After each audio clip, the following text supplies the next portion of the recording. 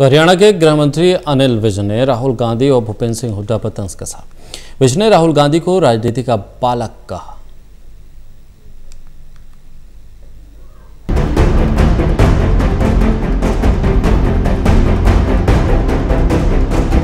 कांग्रेस के पूर्व अध्यक्ष राहुल गांधी ने एक बयान में कहा है कि मोदी की कमज़ोर नीति का चीन ने फ़ायदा उठाया है। इस पर पलटवार करते हुए हरियाणा के गृह एवं स्वास्थ्य मंत्री अनिल विज ने राहुल गांधी को राजनीति का बालक बता दिया। अनिल विज ने निशाना साधते हुए कहा है कि राहुल गांधी पहले अपने परिवार का इतिहास पढ़कर आए और फिर भारत चीन मसले पर बात करें। राहुल गांधी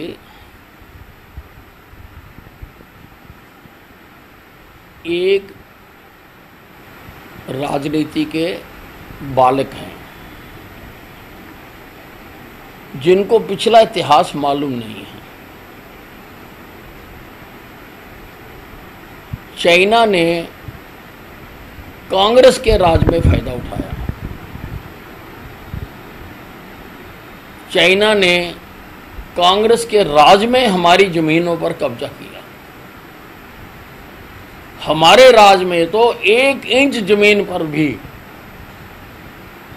कोई कब्जा ना कर सका है, ना करने दिया जाएगा। साथ ही अनिल विज ने हरियाणा के पूर्व मुख्यमंत्री और कांग्रेस नेता भूपेंद्र सिंह हुड्डा पर भी निशाना साधा। अनिल विज ने हुड्डा के उस बयान पर पलटवार किया, जिसमें उन्होंने हरियाणा की कानून व्यवस्था पर सवाल खड़े किए थे। विज ने कहा कि हरियाणा में कानून व्यवस्था दुरुस्त है। उन्होंने हुड्डा से ही सवाल किया कि बीजेपी के राज में कोई एक ऐसा केस बताएँ, जिसमें पुलिस ने कार्यवाही ना की हो। हरियाणा में कानून व्यवस्था पर पूरी तरह से नियंत्रण है। हुड्डा साहब, कोई एक केस बता दें कि जिसमें हमने कार्रवाई ना की हो। और हुड्डा साहब के राज में मैं केस बताऊँ, लोगों को एफआईआर करवाने के लिए डीजीपी के दफ्तर के बाहर जाके आत्महत्या करनी पड़ती थी। वैसे ये पहला मौका नहीं है जब अनिल विज ने राहुल गांधी पर निशाना साधा हो। टोटल टीवी के लिए अम्बाला से कृष्ण बालिक रिपोर्ट।